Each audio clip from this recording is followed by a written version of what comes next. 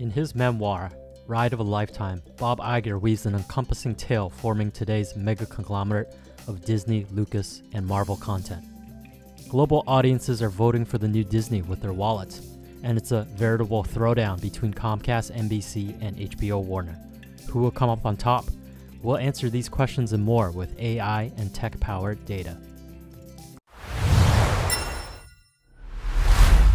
Netflix has been in the financial news. It's been a tribulation for them lately. The industry direction. It started with Netflix. It started earlier than streaming. Remember when Netflix? It used to come in the mail. Many were big fans of the DVDs delivered by the Postal Service. In retrospect, they had to do that because movies were too large to stream over dial up. We could imagine that their original vision was in their name. In classic fashion, they established a product beachhead. Netflix during those days was already revolutionary because you could choose your movies over the internet. That was a level of confidence that people hadn't experienced. Reed Hastings, the CEO of Netflix, had the vision to extrapolate technological trends. It's probably the cornerstone of a high growth business.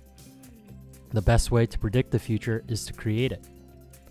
The streaming model hadn't been proven out yet, Netflix predates iTunes, even. It was only a matter of time. In a way, they planned the obsolescence of their own first product. Their first product bootstrapped a recommendation engine. It seems just yesterday they pioneered the Netflix Prize for machine learning, which was to develop a recommendation engine. With user data, they could solve the indecision problem for both bits and atoms. Further, Netflix isn't just recommendation systems anymore. They use GANs, generative adversarial networks, to generate banners for their shows and then run A B testing in a supervised reinforcement loop. So Netflix is still bleeding edge on the technology side. But is that enough to keep them ahead of the Titans? The $1 million prize now 15 years ago. They could have never predicted where their AI journey would take them. Is it concerning, though, in light of their recent stock performance? If it's a pure technology play, then it shouldn't be so simple for competitors to catch up. It's definitely a business area where content can rule the day. The tech stack is more commoditized than it was seven years ago. Players such as Disney bought the necessary pieces for streaming platforms.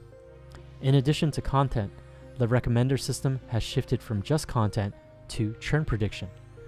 AI has applied to the core business problem. AI has never been a magic cure all, it's a next generation tool. Next generation tools, such as latent diffusion method for text to image generation, have been encroaching on the historical problem of content. There's just a tremendous history with media companies. Like most things in capitalism, we can glean lessons from Buffett. Warren Buffett essentially bankwrote the original Capital Cities and Time Warner merger. There's a detailed discussion in the Buffett biography by Roger Lowenstein, which we link in the description box below. Buffett made his first investment in capital cities in 1977, praising the manager there, Tom Murphy. Tom Murphy was Bob Iger's boss and trained him up for the big role of CEO, which Iger covers in his journey to CEO with all the trials and tribulation in his book. Media companies in the US is a grand poker game writ large with content and properties traded like the biggest chips in the markets. Further, we really get the scale of Buffett's operations when the managers that he praises are themselves grandfathers to the current generation's corporate leaders. We start to piece together our approach by reading multiple discourses. We get a 360 degree view of the landscape, which we can supplement with Amicus technology. With Amicus technology, we can deep dive into fundamental valuations. We'll showcase three different companies Disney with Marvel content, Warner Brothers Discovery, which owns HBO, and Comcast NBC with the new Peacock streaming service. We'll delve into the recent price history as well as fundamental valuation metrics such as forward EPS, price to earnings growth ratio, also known as the PEG ratio, enterprise value to EBITDA, and more. Analyst X is an AI advisor. The ratings are generated through a machine learning train, validation, and test setup. The factors are the model explainability weights from the fundamental metrics. we actually train a separate model for each fundamental metric. Then we aggregate the metrics through a method called mixture of experts. Mixture of experts is yet another neural network layer that adaptively selects among the fundamental factors to learn the best combination for price prediction. We report the Amicus Edge, which is the accuracy of the model above random chance. This is just like the edge you would get selecting your favorite sports team. It tells you your advantage. First, the basics. Among the three companies, Comcast NBC has the highest dividend yield at 2.88% and the lowest forward PE of 9.29. These two numbers imply a somewhat conservative company with low growth expectations. On the other hand, Warner Brothers Discovery and Disney have no dividend yield. Now, you can see from the AI reports, it actually doesn't rank any of these three companies very highly in terms of the forward price. One corollary we can draw is actually from a Wall Street Journal video linked below, which describes how capitalism and markets function. In the video, they mention that sometimes companies compete against each other very vigorously and they provide better services at a lower cost, which they must do in order to garner more market share. The real benefit in the end is not the uh, the companies themselves, but rather the consumer. And this is also a phenomenon that the renowned uh, conservative economist Milton Friedman liked to point to. Now, capitalism doesn't always work this way, but sometimes it works this way and it becomes very effective in improving the services that are provided to consumers.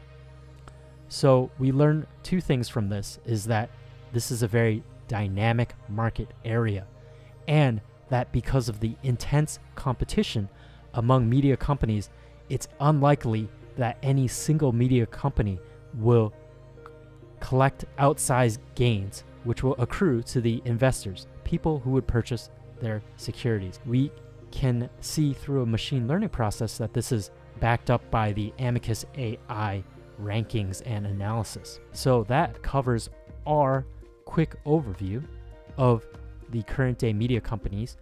You can find more information by subscribing to our AI generated reports, which cover over 5,000 securities. And now, to end on a slightly lighter note, we go on to our Silicon Valley clip. And I, th- I, think what I learned is actually Burning Man has had internet for a while. The people at Center Camp, there's some billionaire that like donates satellite connectivity every year, and you just if you want your camp to have internet, you have to buy a special receiver like Radio Dish to point at Center Camp, which very few people do. I felt mixed about exposing Starlink to my camp because there are a couple of people who are like, I don't want to know what's going on at work right now. I'm sure it's a shit show. I'm sure the markets are a mess. Like, don't tell me. But then there are also parents who had their kids at home with babysitters and like wanted to check in on their kids. And yeah yeah i don't know it's you know it's a, a, fascinating it's very ephemeral right like this whole city is built in a matter of weeks and is torn down again in a matter of weeks yeah everybody you know in theory contributes something i guess galactic jungle contributed uh, carl cox as one of the djs and you know galactic jungle the uber one was funny because it was the only camp where you didn't see coolers. You saw um, glass front refrigerators which you know commercial grade stuff like clearly they came in on a a truck bed, but everyone else is like you know using an ice chest or like uh, something a little bit more uh, rudimentary, self-sustaining, and they're the Uber guys where everything it's like you know it's like staging a five-star hotel in a war zone.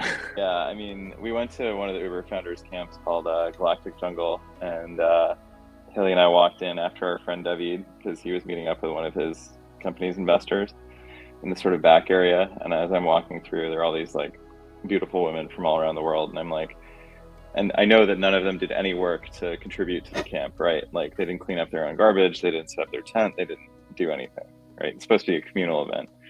So I, said, you know, Haley, they should call this camp Try Too Hard.